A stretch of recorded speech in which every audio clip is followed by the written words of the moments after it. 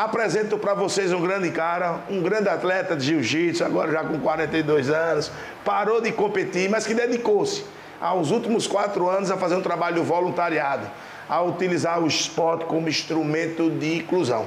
Do meu lado, diretamente do Planalto, onde ele exerce a liderança, o nosso querido Tairan. Fala, Tairan. Obrigado, Ricano. Tudo em ordem, tudo em ordem. Graças a Deus, sempre aqui nessa luta, né? Porque desenvolver trabalho social no país da gente é algo bem complicado. Tem que gostar, tem que ter amor pelo próximo mesmo, que é uma missão isso que nós temos, né? De poder estar tá ajudando o próximo, levando cidadania e dignidade para as pessoas em vulnerabilidade social através do esporte.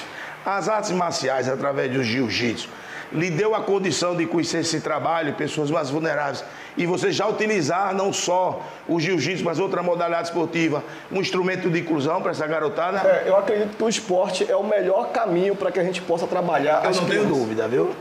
As crianças e os, e os, adolescentes, porque através do esporte a gente consegue é, levar a disciplina, a hierarquia, coisas que muitas vezes nas famílias em vulnerabilidade social têm dificuldade em ter com seus filhos. Então a gente vive uma situação bem complicada na comunidade e eu sou uma pessoa que vem para a linha de frente. Então, é, quando a gente bate na linha de frente, a gente começa a se deparar com muitas fragilidades que o poder público acaba deixando as comunidades bem fragilizadas lá.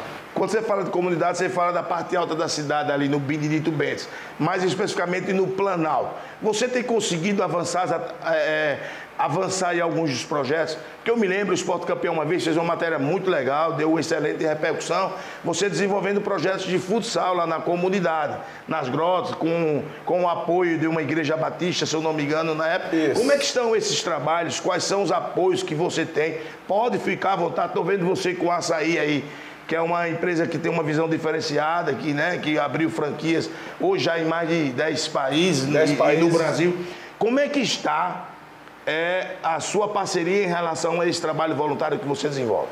Bom, o Açaí Concept é uma, é uma empresa que vem sendo muito importante nessa minha construção, né?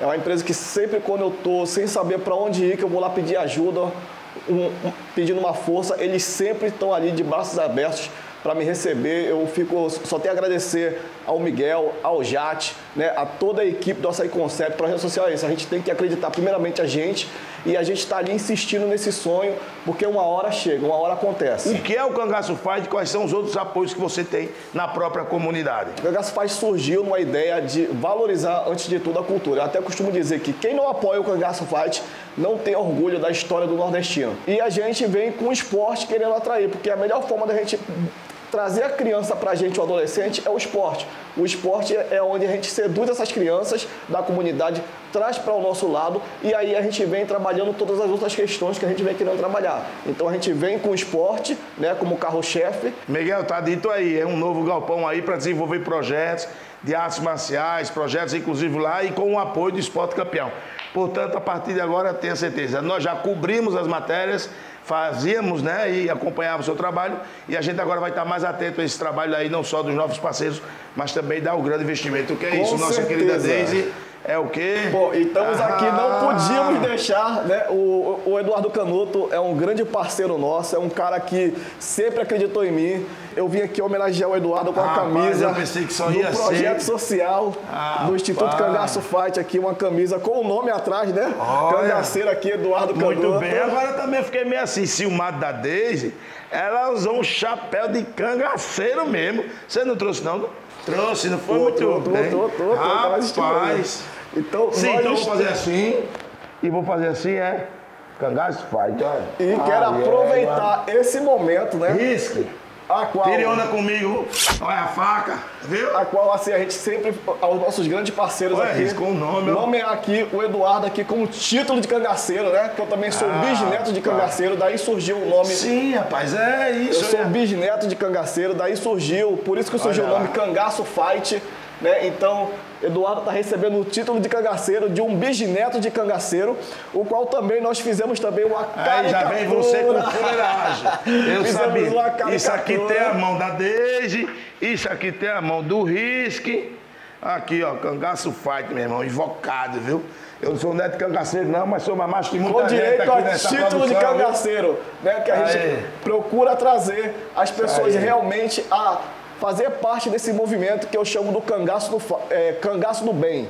Né? Eu quero muito que esse projeto social possa ser reconhecido também como um movimento social e o meu grande intuito é que o cangaço tenha a mesma representatividade que um samurai, um espartano, um gladiador tem lá fora. Então pronto, conte sempre com o Esporte Campeão, né? Nossa diretora, né? Nosso produtor. Faltou uma coisa, né? Também quero presentear o nosso apresentador com uma suíte presidencial na Fazenda Fiore, para ele ir acompanhado né, da Doutora sua esposa, para poder ter um dia lá, um final de semana de lazer Vamos na Fazenda embora. Fiore. Muito bem. Né, que eu também consegui Obrigado, isso para ele. Fiore aí. Vamos embora. A Fazenda Fiore também é uma grande parceira nossa, né, que me fez essa, essa oportunidade de presentear esse grande amigo, Obrigado. esse grande parceiro, Obrigado. que esse é o caminho, né? A gente tem que valorizar também os atletas, então a ideia é essa, é presentear também o Eduardo para que ele possa ter um final de semana lá Muito obrigado, inesquecível. Cara. Muito obrigado. Gente, olha, nós ficamos com o Taeran Cangaceiro Fight. Você quer ajudar, tá o número do telefone, faça contato. Você tem projetos, envolve trabalho voluntário,